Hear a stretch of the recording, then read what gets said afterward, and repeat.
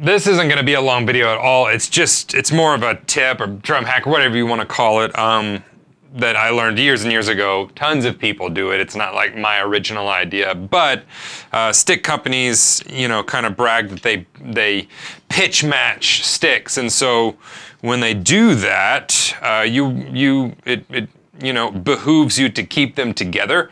And so um, to do that, all you got to do is make a simple marking on them. And uh, you can draw, you know, cute faces like these guys. Can you see it? Can you even see those guys? Kind of zombie looking guys. Or, you know, just whatever you want to do. I, I, you know, sometimes I put numbers, sometimes I put, can you even see what's happening? Here.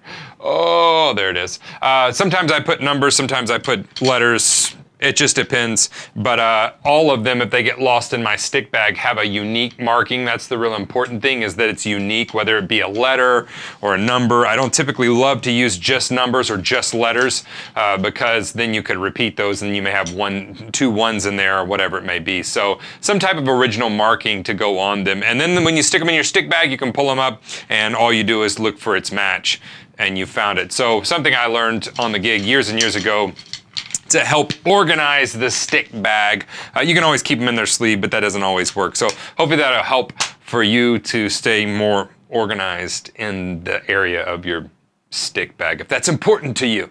But uh, if you haven't subscribed to the channel, subscribe to it. Got new videos and lessons coming every week, and uh, you're missing a ton of good content if you are not subscribed to it uh, as well. You can check out the website, the Drum Better Daily program. That's always there for you. If you need an organized, systematic way to work through some drum lessons, that's what that's all about. But whatever you do, I will see you here in the next video, and I'm gonna go mark up some sticks.